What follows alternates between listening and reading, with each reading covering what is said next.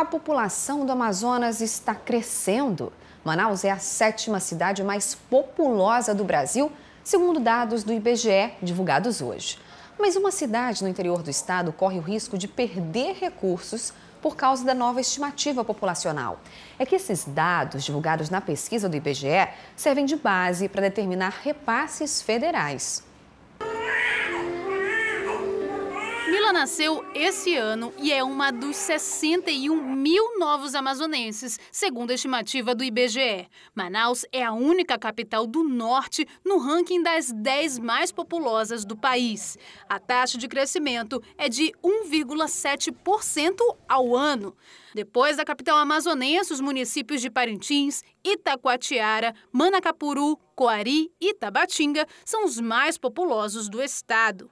Os dados divulgados nesta quarta-feira apontam ainda que a região metropolitana, composta por 13 municípios, supera 2 milhões e meio de habitantes, 1,3% do total de brasileiros, o que a torna a 11ª com maior população do país. Esses dados são a base para definir o valor do repasse do Fundo de Participação dos Municípios feito pelo governo federal. O IBGE passa esses números para o Tribunal de Contas, que calcula um coeficiente para cada grupo de habitantes. Quem subir de coeficiente pode receber, em média, um milhão e meio de reais a mais por ano. É o caso de seis municípios no Amazonas, marcados em azul no mapa. Os outros quatro, em amarelo, por pouco não conseguiram atingir o número necessário de habitantes para aumentar o valor do repasse. E em Urucará, 13 pessoas a menos fizeram o município descer de patamar e deve deixar de receber um milhão e meio de reais em 2018. Segundo a Associação dos Municípios do Amazonas, os prefeitos que não concordarem com a análise do IBGE têm até 20 dias para contestar as informações. Caso não seja é, reconhecido isso pelo IBGE, que o município tem ou não razão, eles vão entrar é, junto ao Ministério Público recorrendo para que não perca esses oito habitantes, vão, vão, vão juntar dados que comprove de que o município não perdeu para que o município não tenha prejuízo financeiro.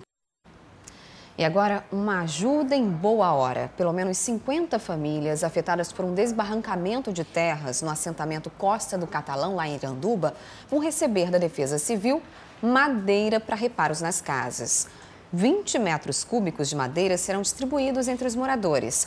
O material é fruto da apreensão realizada na segunda-feira pela Delegacia Especializada em Crimes contra o Meio Ambiente. A madeira será utilizada para os reparos nas casas que tiveram danos por conta desse deslizamento de terras. A Defesa Civil vai enviar ainda 54 caixas de água, kit medicamento e hipoclorito de sódio para apoiar a comunidade. Agora vamos falar sobre tecnologia.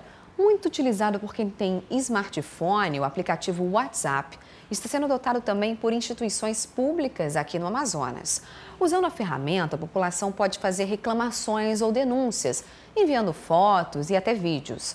O da SMTU, por exemplo, recebeu mais de 100 mensagens logo nos três primeiros dias de funcionamento. Nunca foi tão fácil fazer uma denúncia. Basta um celular com acesso ao WhatsApp e pronto. Qualquer cidadão pode reclamar sobre a demora do transporte coletivo, por exemplo. O aplicativo de mensagens é a nova ferramenta que a Superintendência Municipal de Transportes Urbanos tem usado para se aproximar da população. Na verdade, esse, aplicativo é uma, é uma ferramenta que vai interagir muito mais a comunidade com a SMTU, né? Principalmente com relação à questão da fiscalização. O serviço já recebeu mais de 170 mensagens entre denúncias, reclamações e sugestões. Dá também para enviar fotos, vídeos, sem contar a economia de tempo e dinheiro. Sendo que o aplicativo, a comunidade ela pode ficar mandando mensagem à noite, né? E no dia seguinte, amanhã cedo, nós iremos é, apurar todas as mensagens que foram recebidas sendo elas denúncias ou reclamações. Né? O Tribunal de Contas do Amazonas é outro órgão fiscalizador que conta com esse tipo de serviço. Só na primeira semana de funcionamento foram centenas de mensagens recebidas. A ouvidoria recebe a denúncia via WhatsApp e transforma isso imediatamente em uma investigação e o, o denunciante, a pessoa que formula a denúncia, em tempo real recebe o andamento do processo que está acontecendo aqui no tribunal. Assim que envia uma mensagem para o WhatsApp do Tribunal de Contas do Estado, o denunciante recebe uma mensagem como essa, com um número de protocolo onde ele pode acompanhar o desfecho da denúncia. O ouvidor-geral do Tribunal de Contas garante que as denúncias são analisadas e viram processos, e qualquer pessoa pode denunciar sem o risco de ter a identidade revelada. É um instrumento realmente muito importante e prático, que com certeza só vai fortalecer a transparência e a dignidade é, do Estado do Amazonas. Então anote os números, ó, o contato pelo aplicativo WhatsApp, tanto da SMTU quanto do Tribunal de Contas do Estado, está aparecendo aqui para você no vídeo. E o verão deste ano está bem mais rigoroso que o esperado nessa época. As altas temperaturas incomodam muita gente. Mas acredite, tem gente que gosta, porque até consegue um bom lucro com essa temperatura alta.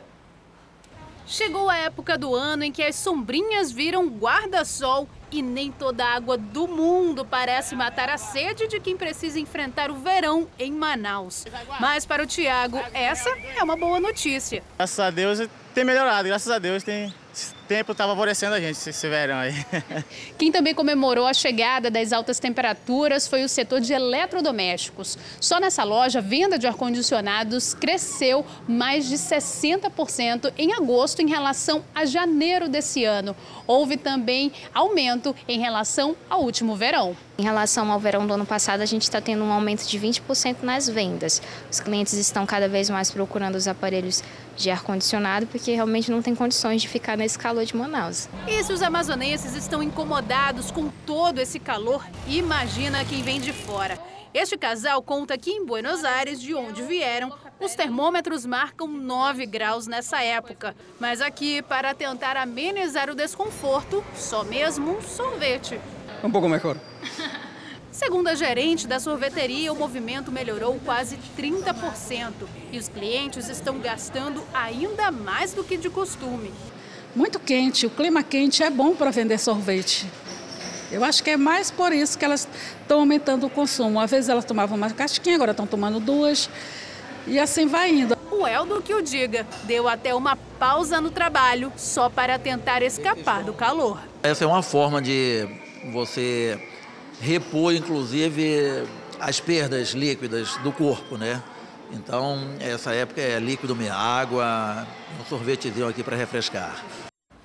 E a gente fica por aqui. Muito obrigada pela sua companhia. A gente se vê agora no A Crítica Play. Até já!